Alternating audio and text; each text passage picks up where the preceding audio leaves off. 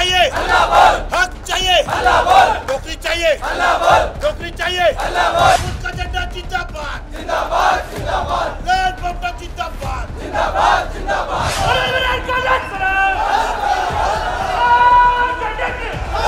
अच्छे कहा से चलने वाला सस्ता को भेजने की बात मत करिएगा। गरीबों की भले की सोचिएगा। अक्सर लाल रंग को गुस्से या खतरे का प्रतीक माना जाता है, लेकिन कल, यानी मंगलवार 29 मार्च को मुंबई के सीएसटी स्टेशन पर लाल रंग शक्ति के रंग में प्रदर्शित हुआ। रेलवे के कई कर्मचारी स्टेशन पर आंदोलन करते हुए नज़र आए।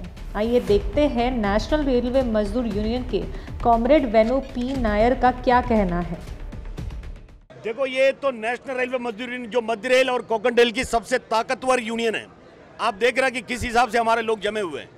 हम लोगों ने इस कोविड के काल में भी, आपको पता कि 2019 के बाद में 2022 में 2020 में मार्च 22 से जो लॉकडाउन होने के बाद, सरकार की सारे आदेशों को पालन करते हुए हम लोगों ने हमारे कैडर को रखने का काम किए हम लोगों ने इस, आज का इस कार्यक्रम को लेके एक दो दो मिनट आपसे कहना चाहता हूँ, इस कोविड के पीरियड में, पूरी भारत के अंदर, पूरी हिंदुस्तान के अंदर, मैं आपको कह सकता हूँ ऐसी कोई ट्रेड यूनियन नहीं मिल सकता, जिस हिसाब से लोगों के बीच में काम करने के काम किए हैं। हम लोगों ने मदद करने का काम किए। हम लोगों ने जो सब्सक्रिप्शन करने, मिलने वाला जो पैसा, उसमें से निकाल के एक करोड़ ग्यारह लाख रुपए, एक करोड़ बारह लाख रुपए निकाल के प्रधानमंत्री की निधि में और मुख्यमंत्री की निधि में देने का काम किए। एंबुलेंस से लेके, हम लोग सैनिटाइजर से लेके मास्क से लेके, इतने सारे कार्यक्रम लोगों के बीच में किया कि उसका कोई कोई कोई हिसाब नहीं है।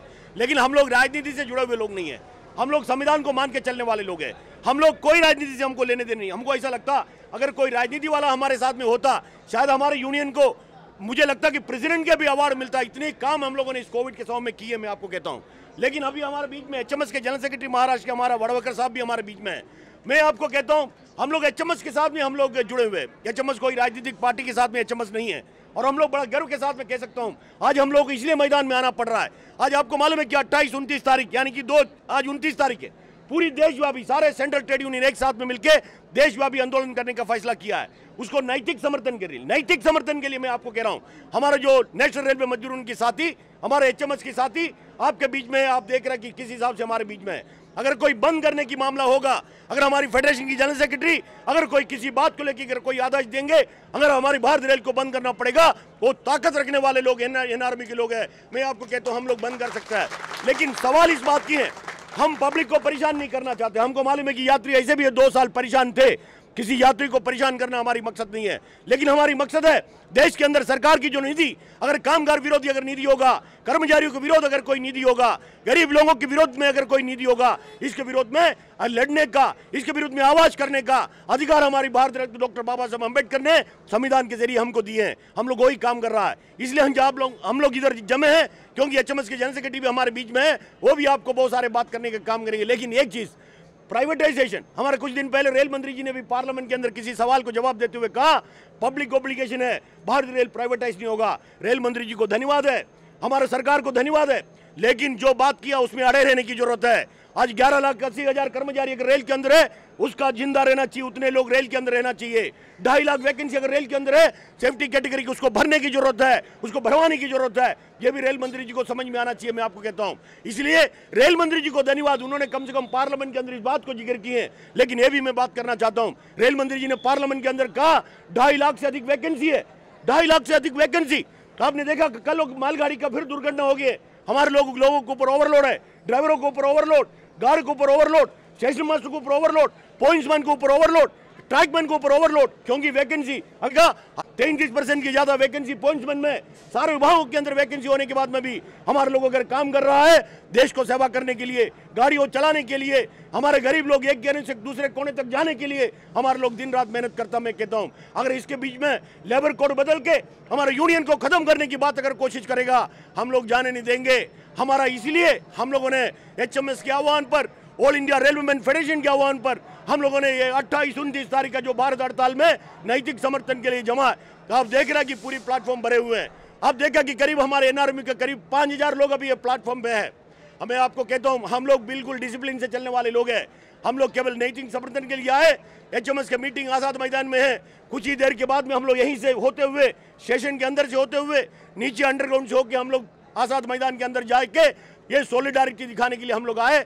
इसलिए आपके बीच में कहने के लिए बहुत सारी चीज़ है। वो नहीं कहना चाहता हूँ। लेकिन सरकार से विनंती है, कामगार विरोधी नीति अपनाइएगा नहीं? सब प्राइवेटाइज करने के कोई मतलब होगा तो उसको छोड़ दीजिएगा। चाहे सरकार हो, चाहे रेल हो या अन्य कोई संस्था हो, अच्छे खासे चलने वाला संस्था को भेजने की बात मत करिएगा। गरीबों की भले की सोचिएगा। कॉमरेड वेणु नायर, कॉमरेड शिंदे जी और सभी एनआरएमयू के झुंझार नेता और सभी कार्यकर्ता, भाइयों और बहनों। आज हिंद मजदूर सभा महाराष्ट्र के तरफ़ से आह्वान के ऊपर 28 उनतीस को जो बंद है, पूरा भारतवर्ष में हिंद मजदूर सभा के तरफ़ से जोरदार बंद का आयोजन किया है। और मेरे को खुशी है, पूरे सभी स्टेट से जो रिपोर्ट आ रही है, वो पूरे हमारे एचएमएस के सभी कार्यकर्ता, लीडर, ये बंद में सहभागी है।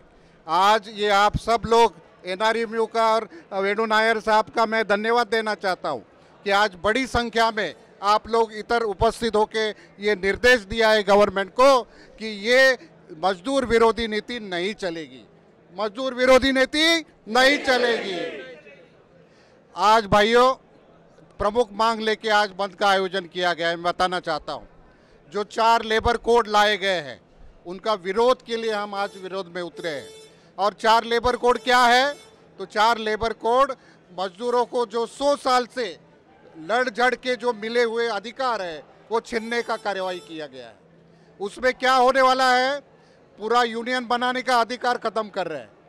चार कोड में क्या बना गया है? एक फिक्स टर्म एम्प्लॉयमेंट आएगा। कोई भी नौकरी परमानेंट स्वरूप का नहीं होगा। इसके विरोध में आज हम आंदोलन कर रहे हैं। दूसरा, जब स्ट्राइक करेंगे तो वो स्ट्राइक इलीगल डिक्लेयर किया जाएगा। कोई भी आदमी लास्ट मोमेंट तक स्ट्राइक के लिए जाता नहीं। अगर जाता है तो इलीगल डाई करके लीडर लोगों को जेल में भेजने का प्रावधान है, ये कोड में। तीसरा बात कि ये कोड में कोई भी हायर एंड फायर कोई भी आदमी को हायर करेंगे फायर करने का अधिकार दिया गया है सरकार की तरफ़ से। और रिकग्निशन कौन तय करेगा? गवर्नमेंट नहीं। नायर साहब रिकॉग्निशन मालिक तय करेगा।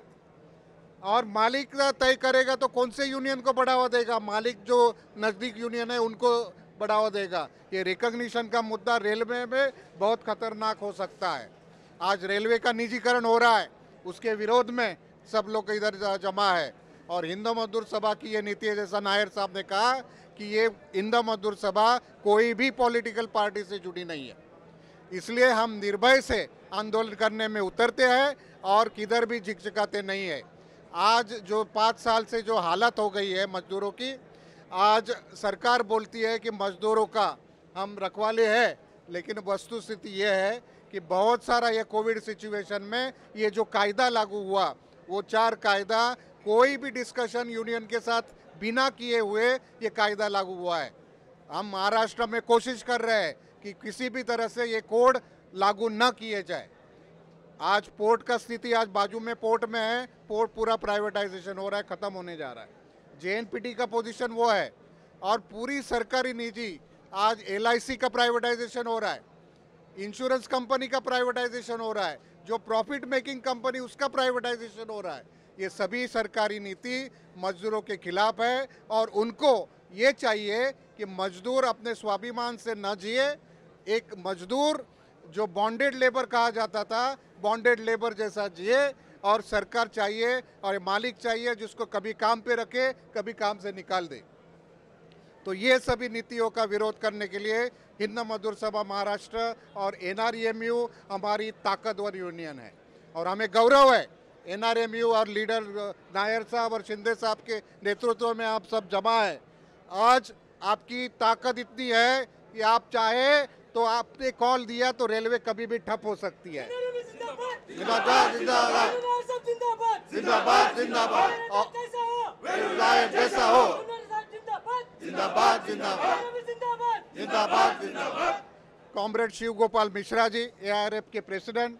हरभजन सिंह सिद्धू साहब उन्होंने ग्रीटिंग्स भेजी है। आप सबको और ये आंदोलन में बड़ी के बड़ी मात्रा में आप शामिल हुए, इसलिए मैं हिंद मजदूर सभा के तरफ़ से धन्यवाद देता हूँ। जय हिंद, जय महाराष्ट्र। अब देखना ये है कि सरकार इस प्रदर्शन को लेकर क्या निर्णय लेती है। DRV news